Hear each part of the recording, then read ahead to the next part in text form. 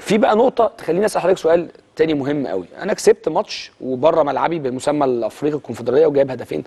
بره ملعبي.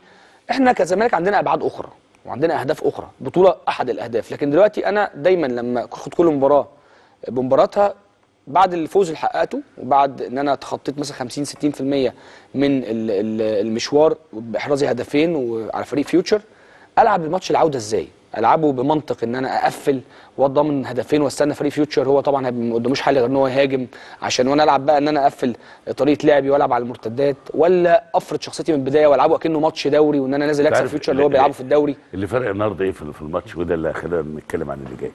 إن النهارده آه، آه، جوميز كان متخيل إن هيبدأ هو الهجوم الكاسح والناس هتدافع. فيوتشر شيء طبيعي فرق الإمكانيات بين الفريقين وفرق الطموح. فهتبقى هجوم زملكاوي كاسح من الأول ودفاع حديدي لفيوتشر اللي حصل إن بالعكس فيوتشر اللي بدأ بيهاجم وفيوتشر اللي بيضيع. الفرق هو ده. شوف تبقى أكبر غلطة للزمالك لو غامر في المباراة اللي جاية. يغامر. ما يغامرش. آه. ما يغامرش. أنت آه متقدم 2 1 وأنا بقول لك وال- والنتيجة لصالحك التوازن. أنت بتلعب برضو على إن كان النتيجة 0 0 لكن ما تغامرش.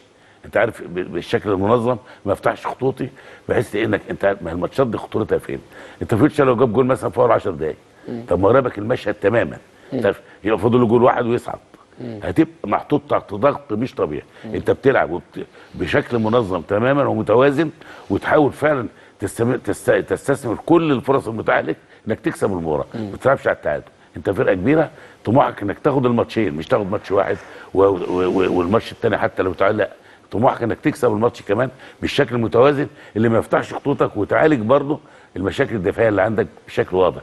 لأن لو استمرنا بده هيبقى في خطورة على دفاع الزمالك وعلى مرمى الزمالك.